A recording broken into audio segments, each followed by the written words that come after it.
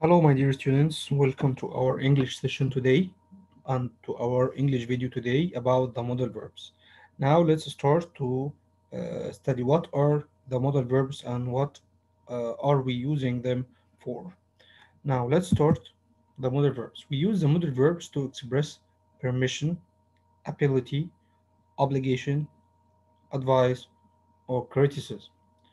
They have only one form except exceptions have to, as we said uh, at our uh, at our class, changes it from depending on person and tense, like she has to go home. Okay. Uh, number three, note three, models are never followed by the full infinitive. We mean uh, what we mean by full infinitive, like to, to, and the infinitive form. Like I can say I can to play, it's wrong. Or I could to play, it's wrong also. But we can say she can play, she could play the guitar when she was three. So all the modal verbs are followed by the infinitive form of the of the verb, not the full infinitive of the verb. So now let's start with the modal verbs with the ability. We use for the ability we use can as we said like when when I say the doctor can see you now, Turi can speak Arabic. So here we are talking about the ability.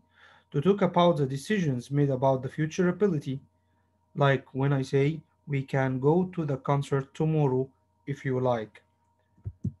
Modal verbs for the ability we can also uh, use uh, be able to instead of can or could. Like when I talk about the future, we will say you will be able to take your driving test after a few more lessons. If I'm taking if I'm talking about uh, the past, we use could or was able to or were able to.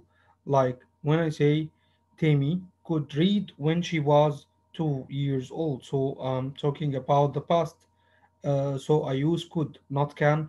And I can also say Tammy was able to read when she was uh, two years old. And to talk about present, future, or general uh, hypothetical uh, situation, like when I say, I wish I could go with you tomorrow, it's a, a wish. Okay, modal verbs for ability also we can use could plus have plus past participle of the verb. Okay, like when I say in the past, when I regret something, uh, or I'm talking about a hypothetical situation. Like when I say, I could have bought more expensive shirt, but I didn't want to. So it means I had the ability in the past to do something, but I didn't do that.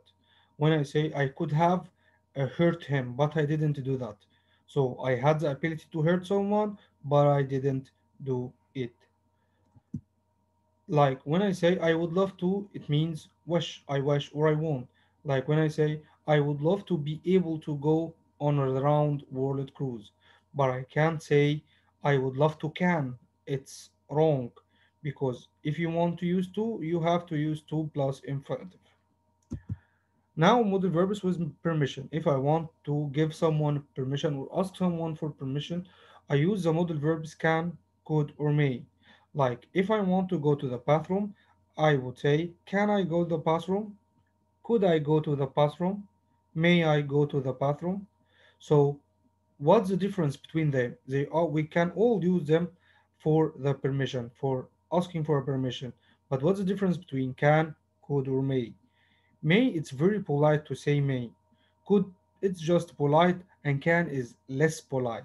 Okay, now let's think about the permissions in the past.